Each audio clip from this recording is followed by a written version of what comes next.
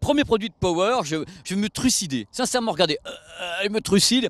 J'aurais dû vous parler de ce genre de produit depuis très très très longtemps. Je sais même pas pourquoi je l'ai pas fait. Parce que je suis un crétinus tout simplement. On a tous un smartphone sur soi. Que se passe-t-il avec le smartphone? On aime écouter de la musique avec. La plupart du temps, malgré tout, la musique, le son qui sort du smartphone n'est pas très très puissant. Avec certains casques, on n'entend rien. Et en plus, le son n'est pas toujours excellent. Que fait l'ampli casque Alors là, c'est un modèle qui s'appelle Cypher Labs Piccolo qui coûte un peu cher, 399 euros. Mais son rôle, c'est tout simple. On branche l'ampli casque à la sortie, tout simplement, mini jack du smartphone et on branche le casque sur l'ampli casque. Alors l'amplification, bien sûr, on pousse le petit bouton et le son du smartphone est amplifié par l'ampli casque. Mais il ne fait pas que ça, l'ampli casque. Il va également corriger le son du smartphone pour lui donner un petit peu de corps hein, et du corps à l'ouvrage. On ne dit pas qu'on va atteindre la super hi avec du MP3. Non, ça n'y arrivera pas. Le MP3, c'est les années 90, ça restera pourri si c'est pourri. Hein. Pour en acheter 15, ça changera rien. Mais par contre, avec un son à peu près correct, on peut donc le dynamiser et surtout brancher n'importe quel casque dessus, même des casques hi dont on sait qu'ils sont très difficiles à remuer